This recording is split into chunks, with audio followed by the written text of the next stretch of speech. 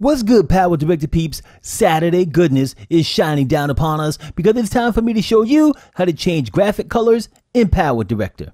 This cool effect allows you to change the color of an existing graphic to whatever color you want to use in your video. Make it match your logo, your website, whatever you want. Let's change colors. As you can see, I have a clip in the timeline. Now, you want to go ahead and select a graphic title for your video. So you want to go to the title room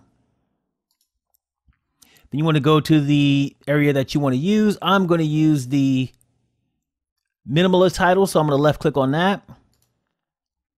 And I want to use minimalist title 23. I'm going to hold down my left mouse button over it and I'm going to drag it down to track two. Now, if I move this forward or I play this, you can see the graphic there and it's yellow. Now, I don't want that yellow part in there. I actually want it to be red, but I want the color of the words by Cyberlink to be white.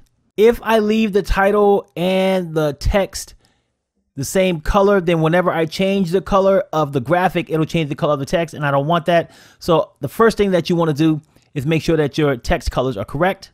So I'm gonna double click on this title And here for the title area, it shows that the text is yellow. I'm going to click on that and change it to white.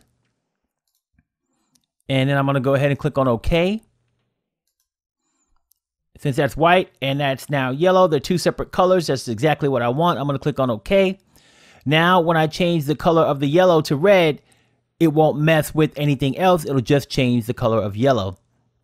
Now, to change the color, I need to go ahead and go to the effects room.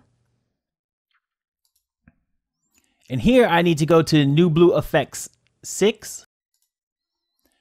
And then there is an effect called NewBlue Color Replace. So I'm going to hold down my left mouse and I'm going to drag this over the title and let it go. And now I want to go ahead and click on effect so that I can apply the effect how I want to. Now the source color here, if I click on this, I could pick a source color and I could try to get as close as I could, but I want to use a tool. It's called Instant Eyedropper.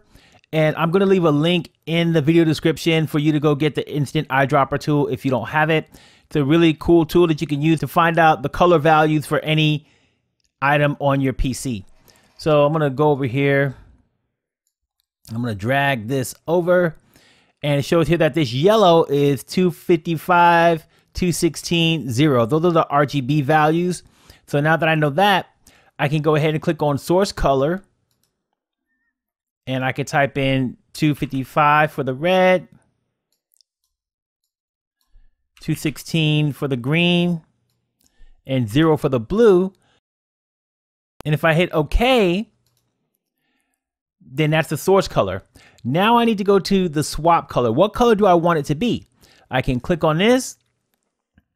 And if you need to, you can use the same uh, tool, the instant eyedropper tool, and add the values and all that stuff. You can use that tool on anything on your computer.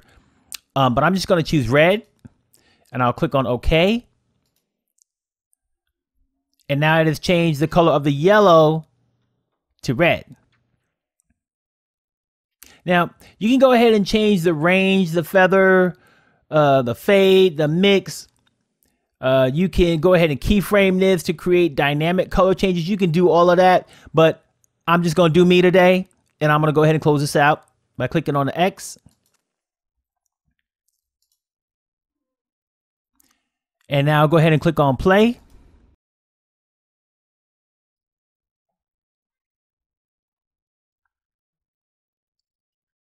Looks colorific.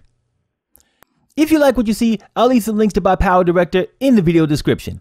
I know you want more PowerDirector love, so be sure to click on these videos to watch more of my content and smash my cartoon face to subscribe. Don't forget to drop me a comment and a like down below.